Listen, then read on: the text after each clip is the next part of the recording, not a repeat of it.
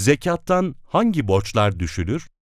Zekat vermekle yükümlü olan kişi, elindeki zekata tabi olan malından kul haklarına müteallik olan borçlarını düşer.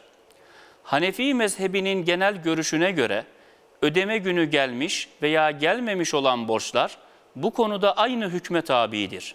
Ancak Hanefilerden bir kısım alimlerin görüşüne göre sadece vadesi gelmiş olarak birikmiş ve alacaklısı tarafından talep edilen borçlar düşülür.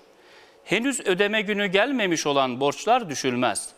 Zira bu tür veresiye borçlar genellikle alacaklıları tarafından istenmez, ödeme günü gelmiş olan borçlar istenir.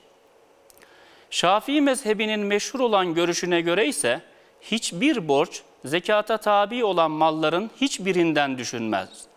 Dolayısıyla borçluluk hali zekat vermeye engel değildir. Günümüzde ödeme planı uzun bir takvime bağlanmış olan ve ileriki yıllarda düzenli olarak ödenecek olan kamu, TOKİ, kooperatif, kredi türü borçlar bütünüyle zekat malından düşülmemelidir.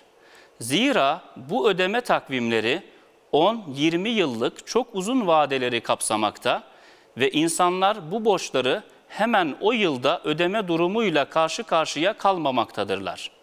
Bu bakımdan kişinin elinde bulunan zekata tabi mallardan sadece o zekat yılına ait olan birikmiş borçlar, vadesi o yıl içinde dolmuş veya dolacak olan ve dolayısıyla o zekat yılı içinde hemen ödenmesi gereken borçlar düşülmelidir.